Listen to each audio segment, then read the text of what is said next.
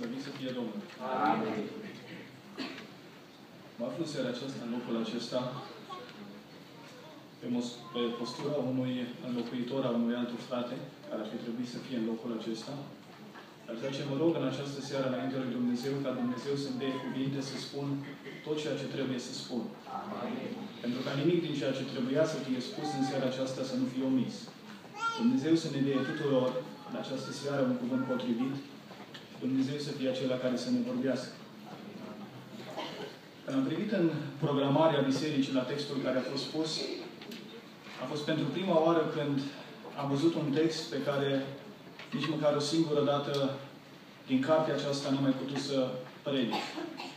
Este cartea Estera din care niciodată nu am avut ocazia ca să pot să vestesc Cuvântul lui Dumnezeu. Este o carte deosebită între celelalte cărți din Scriptură.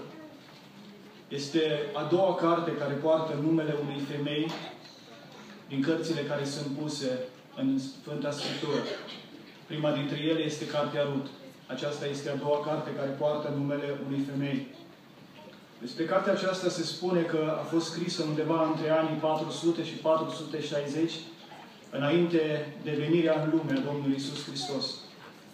Despre cartea aceasta este amintit și frații și surorile care au citit vor găsi, vor găsi în cartea aceasta că este omis numele Lui Dumnezeu. În cartea aceasta nu este trecut numele Dumnezeu nici măcar o singură dată. Cu toate acestea, din primul verset și până în ultimul, Dumnezeu este acela care a insuflat cartea aceasta și le-a dat acestor oameni șansa de a lăuda și de a slăvi. Este un lucru important și de aceea este bine să privim încă o dată și să vedem felul în care Dumnezeu coordonează toate lucrurile. Când Dumnezeu este în controlul tuturor lucrurilor și Dumnezeu niciodată nu se lasă să fie bajocorit. Capitolul care a fost citit este capitolul 4 și aș vrea să vedem în primul rând de la capitolul 2 ca să privim mai dinainte, ca să putem înțelege mult mai ușor ceea ce s-a întâmplat. Fratele Iosif spunea că s-ar putea să ne punem întrebări și să spunem lucrurile care sunt scrise în cartea aceasta s-au întâmplat de mult. Într-o împărăție, ceea ce s-a întâmplat a fost pentru poporul Israel, dar pentru noi, oare mai este actual? Ceea ce aș vrea să vă spun în seara aceasta, cuvântul Domnului este actual. Este același ieri, astăzi și în viață. Ceea ce a fost scris pentru evrei este valabil și pentru creștini. Ceea ce a fost scris în Sfânta Scriptură este valabil și pentru noi. Și de aceea este bine să privim lucrul acesta și să înțelegem. În capitolul 2 spune cuvântul Domnului că după ce mai înainte Vasti, care a fost împărăteasă,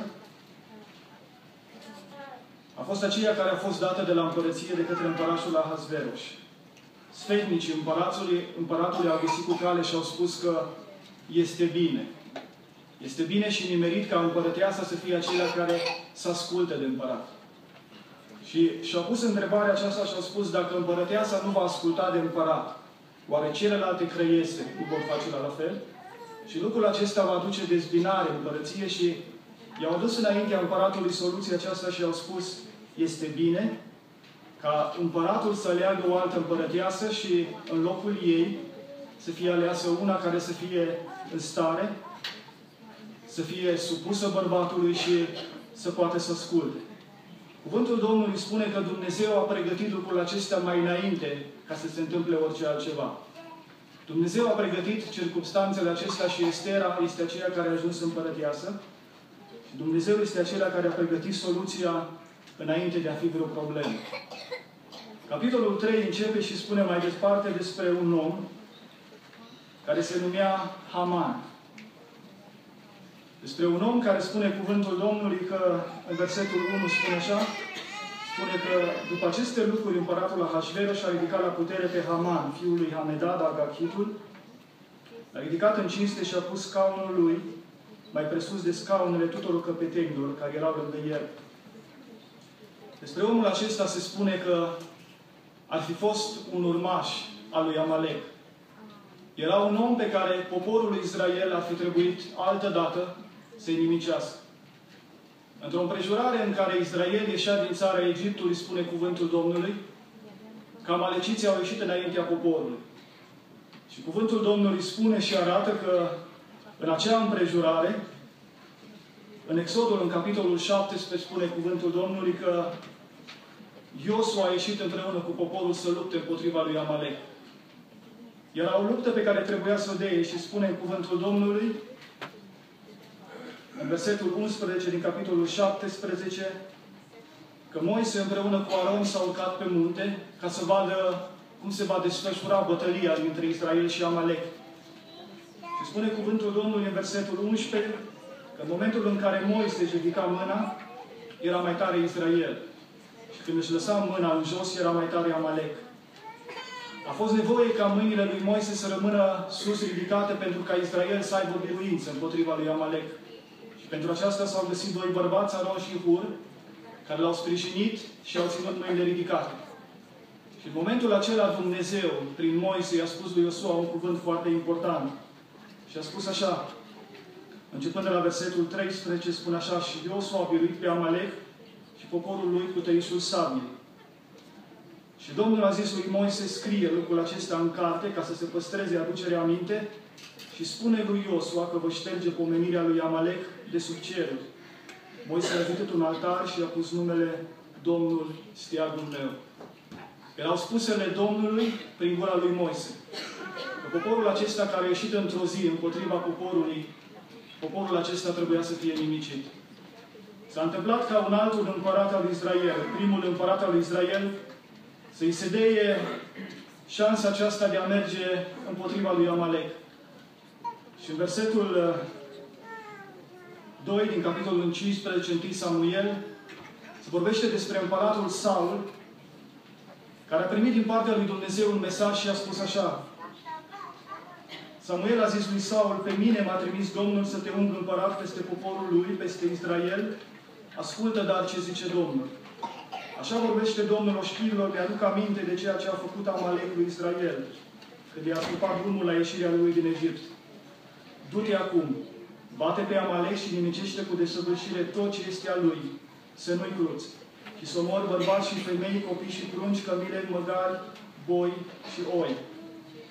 S-a întâmplat că omul acesta, când a plecat la război, a început să asculte mai mult de glasul poporului decât de glasul Domnului și a început să se teamă. Pentru că de cele mai multe ori noi, ca și oameni, când ascultăm mai mult de oamenii din jurul nostru, începem să ne temem.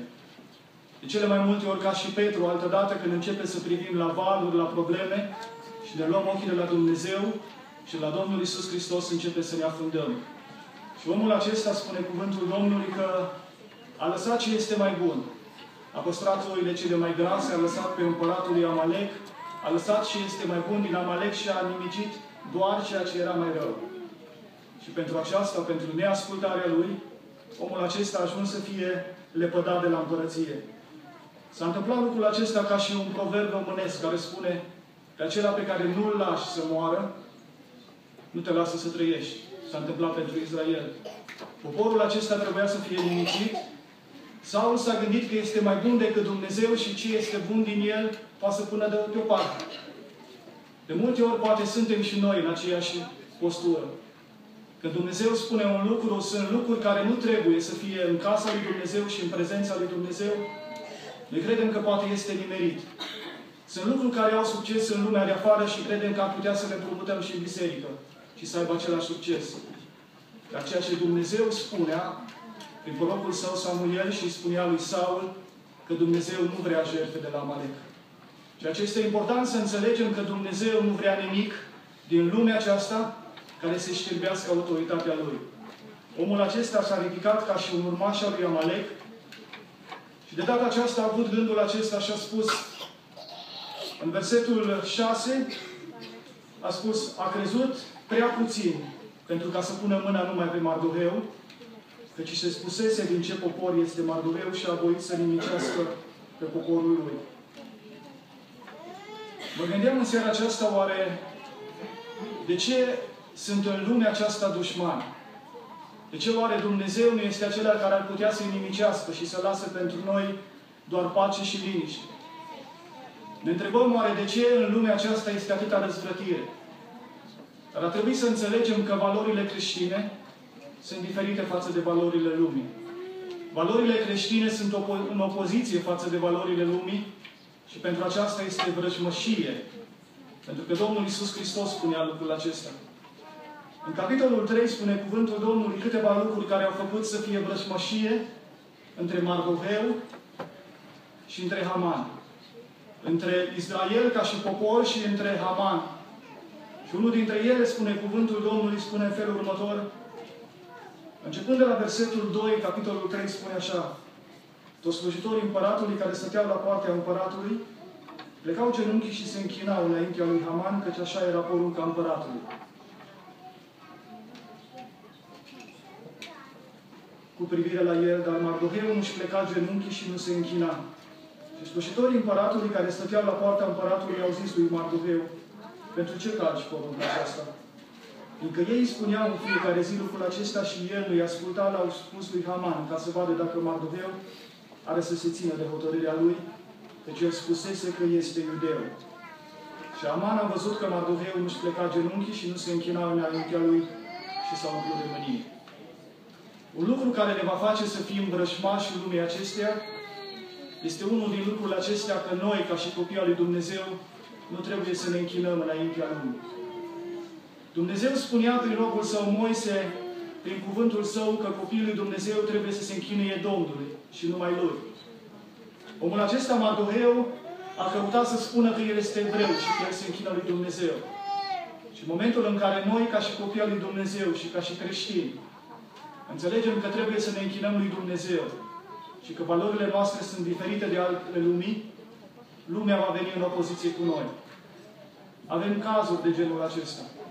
Sunt oamenii care în țările civilizate încă încep să sufere.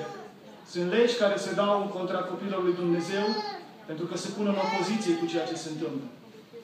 Unul din lucrurile care ne va face pe noi să fim vrășmași lumii este felul în care ne închinăm. Dacă ne vom închina lumii, lumea va fi prietenă cu noi. Dacă ne vom închina lui Dumnezeu și vom căuta să slujim lui Dumnezeu, cu siguranță că lumea va fi în opoziție de noi. S-a întâmplat un alt lucru pe care însuși Haman, un om rău, a reușit să vadă în poporul lui Dumnezeu și a spus așa, un alt lucru. În momentul în care Haman s-a, arătat înaintea împăratului, a spus un lucru. În toate ținuturile împărăției tale este risipit un popor deosebit dintre popoare, care are legi deosebite de ale tuturor popoarelor și nu ține legile împăratului. Nu este în folosul împăratului să-i lase liniștit. Dacă găsește cu cale împăratul să scrie o poruncă pentru ca ei să fie nimicit, și eu voi cântări 10.000 de talanți de argint în mâinile slujbașilor ca să-i ducă la visteriile împăratului. Un lucru foarte important și pe care trebuie să-l înțelegem. Ori de câte ori, noi ca și copilul lui Dumnezeu suntem deosebiți cu atât mai mult ne va face să fim vrășmași față de lume. Lucrul acesta este foarte important și trebuie să-l înțelegem.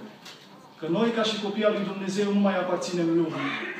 Domnul Iisus Hristos se spunea în, în Ioan, în capitolul 15,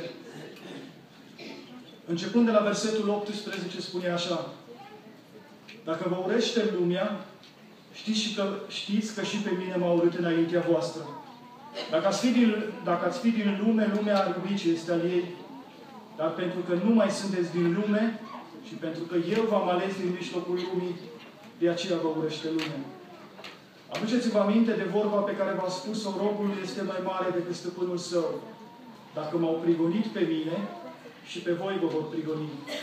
Dacă au păzit cuvântul meu și pe al vostru îl vor păzi.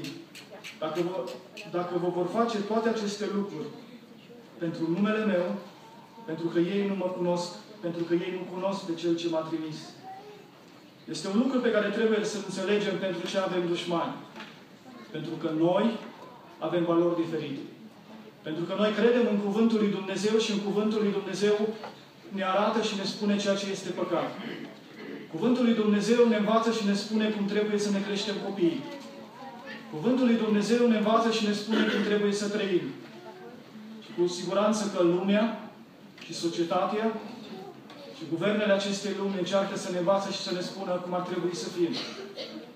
Încet, încet au început prin felul în care ne-au educat în școli și au spus copiii noștri trebuie să învețe în felul următor.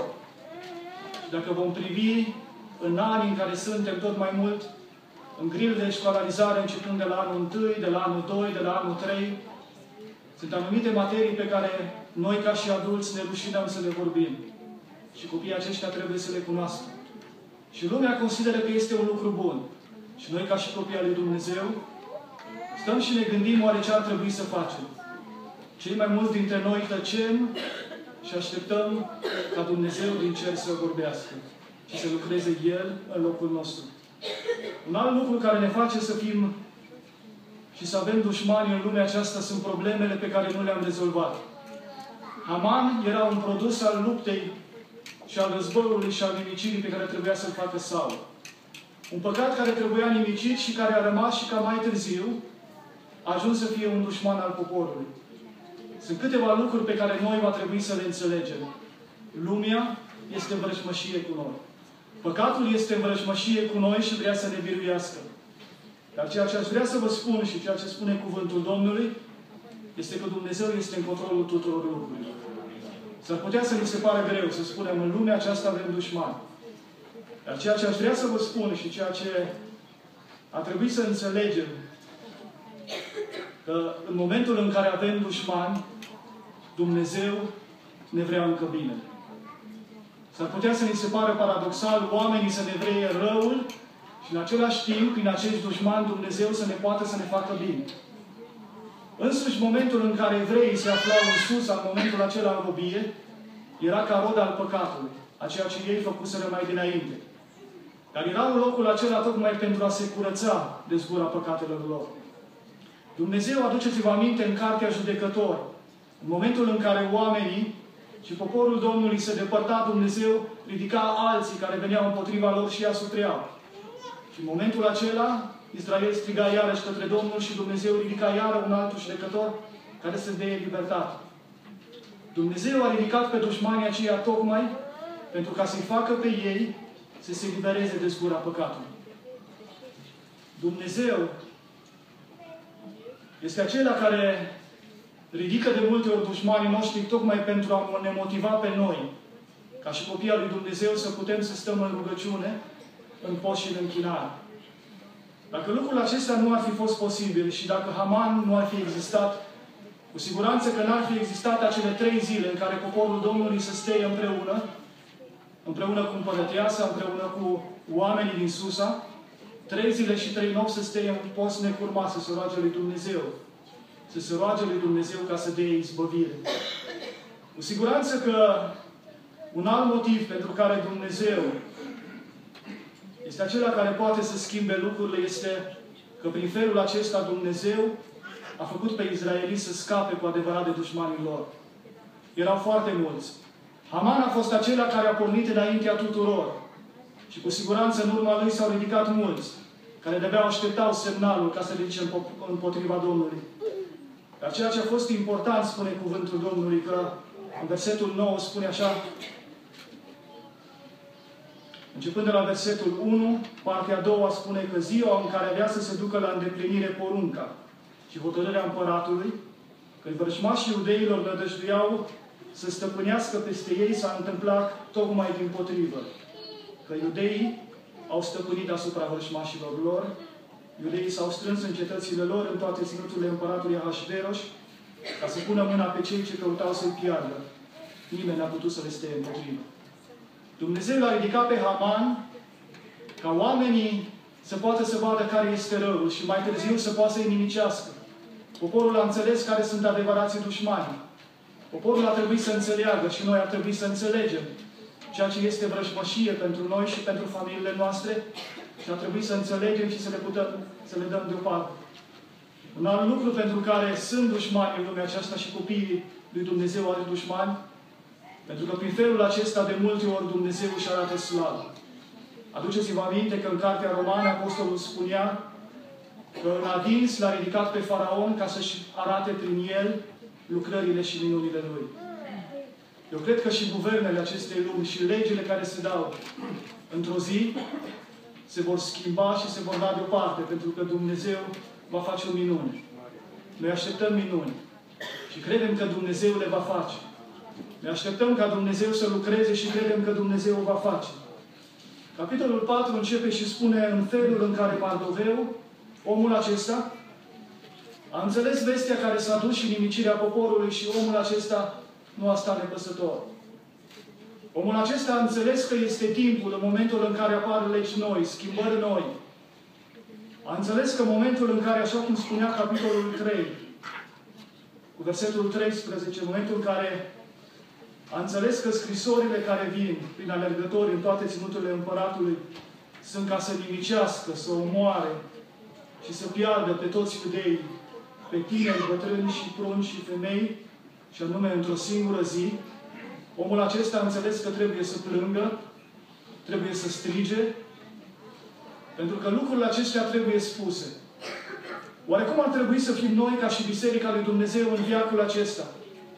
Când înțelegem că copiii noștri pot să fie nimiciți prin învățăturile străine. Cum ar trebui să gândim noi și cum ar trebui să ne purtăm noi gândindu-ne că familiile noastre ar putea să fie într-o zi omorâte de învățăturile lumii. Am putea să stăm liniștiți? Am putea să stăm liniștiți, să nu ne gândim că altă dată omul lui Dumnezeu să spună să ne luptăm pentru casele noastre, pentru familiile noastre, pentru copiii noștri, pentru biserică, pentru poporul Domnului. Omul acesta spune cuvântul Domnului că și-a sfârșit hainele când a auzit lucrul acesta. S-a îmbrăcat cu sac și s-a presărat cu cenușe.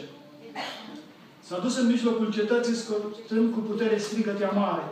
A mers până la poarta împăratului, a cărei intrare era oprită oricărui era îmbrăcat cu sac. În fiecare ținut unde ajungea porunca împăratului și hotărârea lui, a fost jale mare între iudei. Osteau, plângeau și se boteau și mulți se culcau în șac și cenușă. Omul acesta ar fi putut să spună că pe el nu-l privește.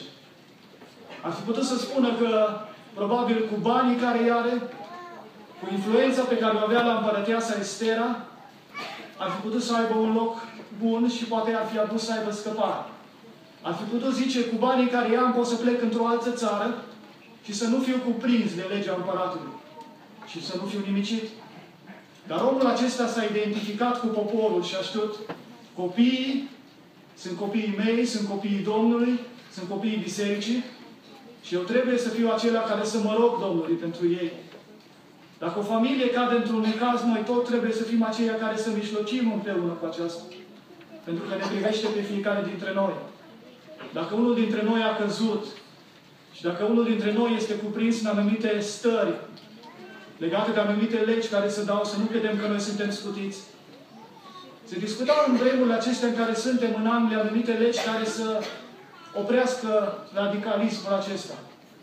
Și spunea unul dintre oamenii care comentau, spunea, în vremurile în care vor veni copiii lui Dumnezeu, nici măcar crezul lor de credință, nu vor mai putea să-și spună public. Pentru că a spune lucrurilor că căsătoria între doi bărbați nu este conform cu Scriptura, este împotriva legii lumii și a statului și pentru aceasta vei fi judecat. A spune lumii că felul în care îți crești copii, așa cum spunea altă dată printr-o predică și era postată foarte mult pe internet, este datoria familiilor și nu este datoria statului.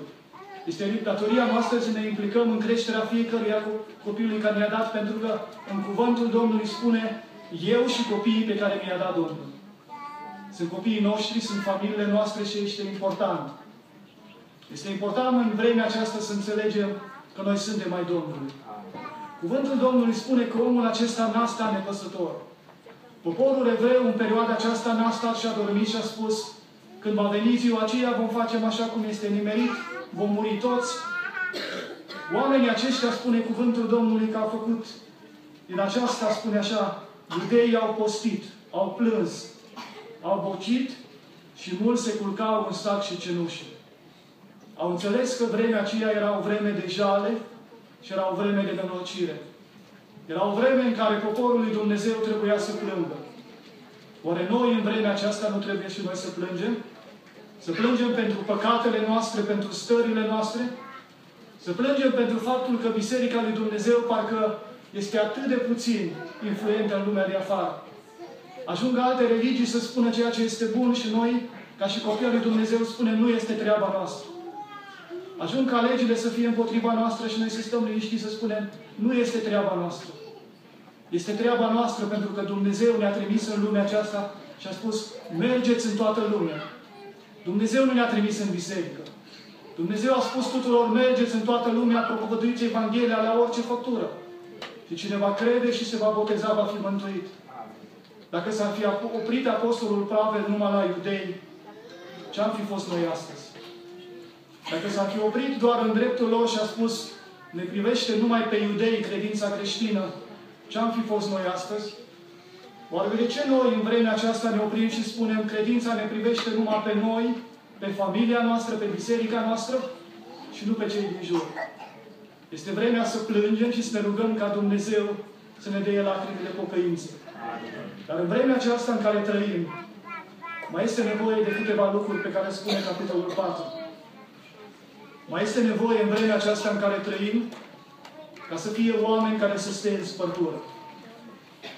Cu siguranță că nu vom putea toți să stăm și omul care a fost găsit și pregătit de Dumnezeu în împrejurarea aceasta a fost Estera, care să stea în spărtură înaintea poporului și omul acesta, Mardoheu, cunoscând cine este Dumnezeu, ceea ce face Dumnezeu, cum răsplătește Dumnezeu, a spus un lucru.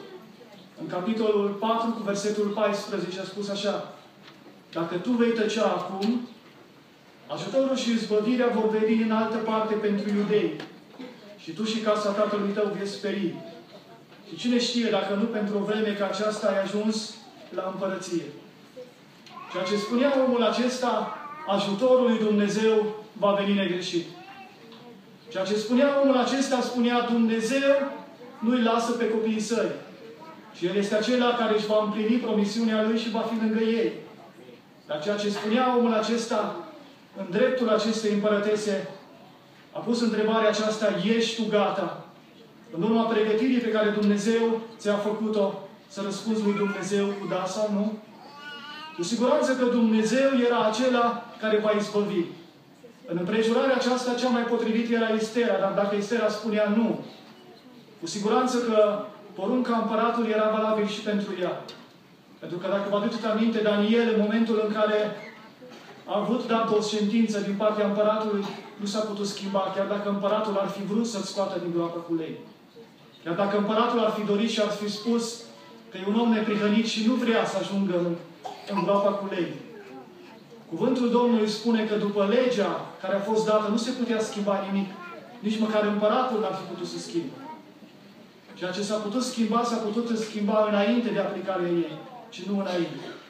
Împărăteasa a fost aceea care a hotărât și a spus că este aceea care se pune la dispoziția lui Dumnezeu. Și este un lucru important. Este important să plângem, este important să ne rugăm, este important să mișlocim, dar este important să luăm atitudine. Este important să stăm la înaintea lui Dumnezeu și să ne rugăm lui Dumnezeu care să ne dea putere. Cu siguranță că fiecare suntem pregătiți de Dumnezeu pentru un scop. Dumnezeu a pregătit-o pe Estera pentru această soluție a poporului înainte de a fi o problemă. Înainte ca Haman să se gândească că ar trebui să nimicească poporul acesta, împărăteasa a fost schimbată și a pus, pusă o altă împărăteasă. Femeia aceasta și-a ascuns, spune cuvântul Domnului, și-a ascuns nașterea și nimeni din cei care erau acolo nu știau că ea este din neamul evreilor. Și femeia aceasta, într-o zi, a trebuit să meargă înaintea împăratului să ceară viață. Să ceară viață pentru ea, pentru poporul ei, pentru copii. Și cuvântul Domnului spune că acela care a dorit lucrul acesta era Haman, răul acesta. Este timpul și vremea în care trăim, în care copiii lui Dumnezeu trebuie să se gândească. Trebuie să ne rugăm. Trebuie să postim. Trebuie să spunem ceea ce nu este drept, dar în același timp trebuie să luăm poziție față de ceea ce se întâmplă. Este important. Estera, dacă ar fi rămas în situația ei și ar fi spus, eu dacă sunt împărăteasă, poate am pot să pot să scap. Poate am să scap o perioadă. Cu cu siguranță că Dumnezeu ar fi găsit o soluție. Într-o împrejurare, un evreu care se afla în fosta Uniune Sovietică a fost întrebat de un occidental și a spus ce s-ar întâmpla dacă Uniunea Sovietică, în vremea aceea fiind foarte mulți evrei, dacă Uniunea Sovietică ar începe o prigoană împotriva evreilor. Omul acesta a spus un lucru, dacă s-ar întâmpla lucrul acesta, evreii ar mai pune încă o sărbătoare în calendar. Și fiecare și-ar pune întrebarea, oare de ce în urma prigoanei o sărbătoare? Și omul acesta a răspuns mai departe și a spus, încă de la început, cuvântul Domnului spune că evreii au fost robi și au ajuns să fie robi în Egipt. Spune cuvântul Domnului că Faraon s-a împotrivit. În urma eliberării, spune cuvântul Domnului în Egipt, evreii au făcut o sărbătoare și au numit o sărbătoare a Paștelui, ziua eliberării. Mai târziu, o altă sărbătoare care a fost pusă în urma acestui lucru și a capitolului care a fost citit și în cartea Estera este sărbătoarea Purim. Este o altă sărbătoare și este o sărbătoare încă o dată în care arată că Dumnezeu se implică în viața copiilor săi. Cu siguranță că s-a ridicat Haman și a crezut că poate să nimicească poporul. În urma acestei lucruri, evreii au ridicat o sărbătoare în cinstea Domnului pentru că Dumnezeu i-a ajutat. S-a întâmplat mai târziu ca Antioch Epifanul să vină la Ierusalim să spurce templul din Ierusalim și să dorească din nou să omoare pe evrei. Și în urma acestui lucru s-a mai întâmplat o sărbătoare și a fost sărbătoarea Hanukkah. De fiecare dată când oamenii s-au ridicat împotriva poporului Dumnezeu și au dorit să-L nimicească, Dumnezeu a fost acela care a venit de partea lor. Dumnezeu a fost acela care le-a dat biruință și le-a dat putere ca să iese biruitor.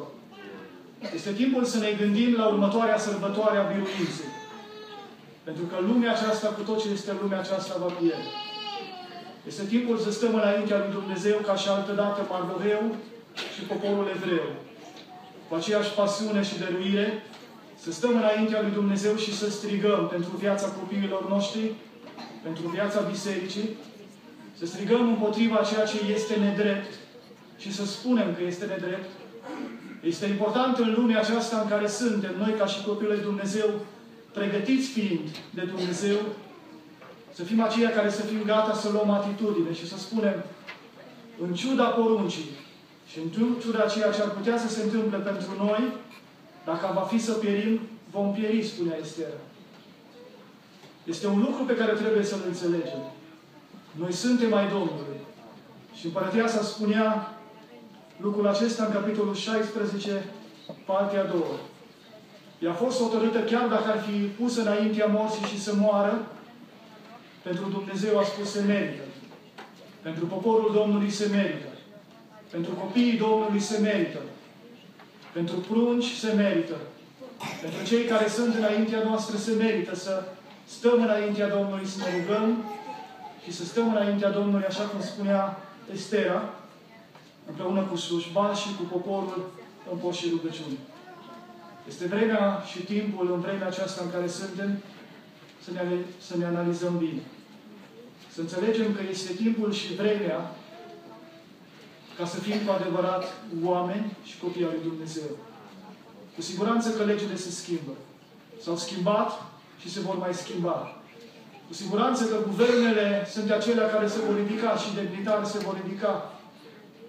În cartea Isaia spune cuvântul Domnului că în anul morții împăratului Iozia, omul acesta l-a văzut încă pe Dumnezeu pe tron. A murit un împărat. S-a ridicat altul, dar Dumnezeu a fost din veșnicie, în veșnicie Dumnezeu, El nu s-a schimbat. El a rămas pe tronul Lui. Se vor mai ridica împărății. Se vor mai schimba legi. Dar cuvântul Domnului este acela care va rămâne în viață. Vă îndemn în ceara aceasta să v-ați acest, asupra acestui cuvânt să mijlociți înaintea Domnului, să plângeți pentru casele voastre, pentru Biserica Domnului, să vă rugați înaintea Domnului să nu priviți ușor. Să vă rugați și pentru familia Bonariu, să vă rugați pentru izbânda pe care Dumnezeu poate să le deie, pentru că nu este un lucru ușor. Nu este un lucru ușor și este un lucru care cred că ne privește pe fiecare dintre noi. În momentul în care noi spunem suntem scutiți, suntem într-o cealaltă parte de lume. E adevărat. Suntem departe, Dar în lumea aceasta în care trăim este o lume a globalizării. Legile care sunt într-o țară sunt și în cealaltă. Și unde am putea să fugim și să spunem că nu ne privește pe noi. Și aici, în Quebec și în Canada, sunt cazuri similare. Este vremea să stăm înaintea lui Dumnezeu și pentru familia aceasta. Este vremea să stăm înaintea Domnului și pentru noi, ca și bărbați, pentru noi ca și femei, pentru că Dumnezeu a pregătit-o pe Estera, Dumnezeu l-a pregătit pe Mardoheu, Dumnezeu a ridicat și a pregătit tineri, a pregătit bătrâni, a pregătit frați, a pregătit surori, pentru ca Dumnezeu să dea izbândă. Tot ceea ce contează și este important noi, acceptăm să fim la dispoziția lui Dumnezeu sau nu. Începem noi să ne rugăm și să mișlocim înaintea lui Dumnezeu pentru ceea ce a fost spus și pentru cauzele care sunt? Sau vom aștepta ca izbăvirea să vină din altă parte? Va începe să ne, prindă, să ne cuprindă și pe noi frica și chiama, deznădejdea? Sau vom crede ca și Mardoheu că Dumnezeu dă izbândă? Vom crede ca și Mardoheu că Dumnezeu este acela care dă biruință. Omul acesta nu s-a îndoit. Nici măcar prin gândul i-a trecut să părăsească poporul și să plece. Nici măcar prin gând ar trebui să spună este problema altora, este problema mea, este problema bisericii, este problema copilului lui Dumnezeu. Să plângă pentru copii, să plângă pentru biserică, să-și ceară Domnului pentru păcatele pe care le-au făcut, să se lase de ele, și fie ca Dumnezeu în seara aceasta să ne dea lacrimile bucăinței tuturor. Să ne dea un post după voia Lui. Dumnezeu să fie acela care, pregătindu-ne în fiecare zi să ne facă vrednici și destoinici pentru lumea aceasta, pentru propovăduirea Evangheliei și într-o zi pentru a ne întâlni cu El. Fie ca Dumnezeu să ne facă pe toți vrednici care suntem în seara aceasta aici. Amen. Amen.